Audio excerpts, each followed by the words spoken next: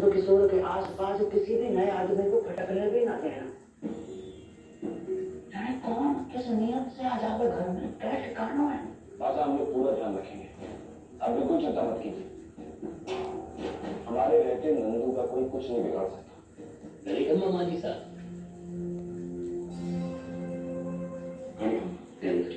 हाँ जी ऐसा क्या काम हो गए हो जो हमें यहीं पे आना पड़ गए हो कुछ कर्जदारों ने ब्याज की रकम दी है। बैंक में जमा कराना है। बसंत जी पासबुक लेने आया हूँ। साथ साथ उस पर भी दर्ज करवा दूँगा। हेलो। तू अपनी पासबुक मुनीम जी को दे दे। जी ब्याज की जितनी है खाते में जमा करा दीजिए।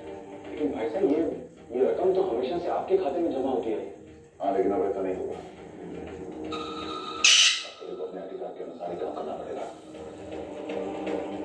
내가 항상 감독이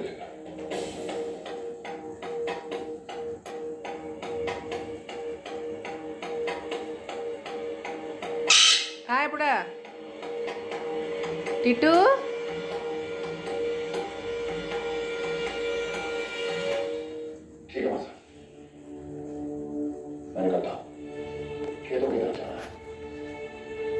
何